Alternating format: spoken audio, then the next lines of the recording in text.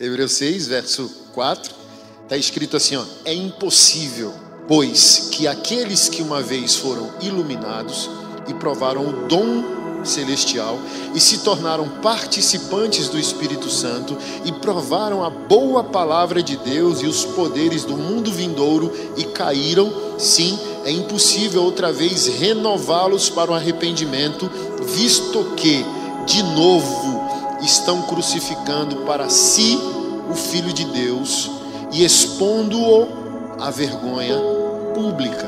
Já não resta.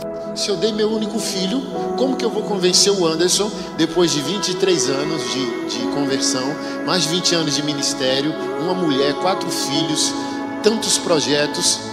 Que versículo alguém vai usar para me arrepender se eu me profissionalizo no meu pecado? Porque uma coisa é a fraqueza do pecado, outra coisa é o cinismo do pecado. Onde a misericórdia de Deus atua? Na fraqueza mas a misericórdia de Deus não atua no cinismo.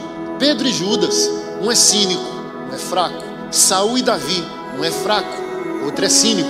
Caim e Abel, um é fraco, outro é cínico. Com fraco o Senhor aplica João 3,16. Com cínico o Senhor aplica João 3,36.